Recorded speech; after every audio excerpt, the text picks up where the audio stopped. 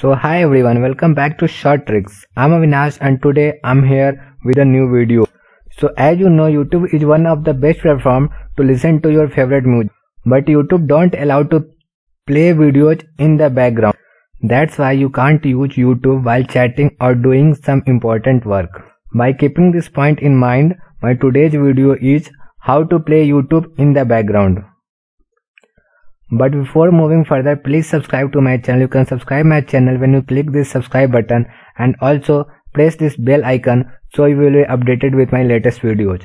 Now, without wasting any more time, let's do it. First of all, open your Play Store and search the application VidTube.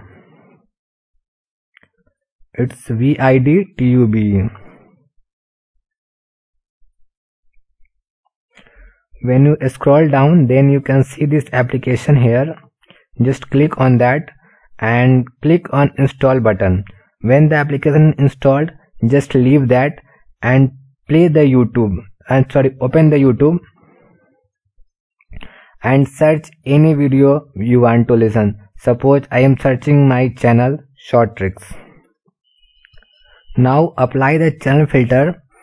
Click here go to content type and select channel then click on apply. And the second one is my channel. Click on that and choose any video you want to play. Uh, suppose I am choosing this one. Then open this and click on share. Then you will get an option. It's new pipe pop-up click on that and the pop-up is up now. Now you can close the youtube and now you can close youtube and do any work you want to do.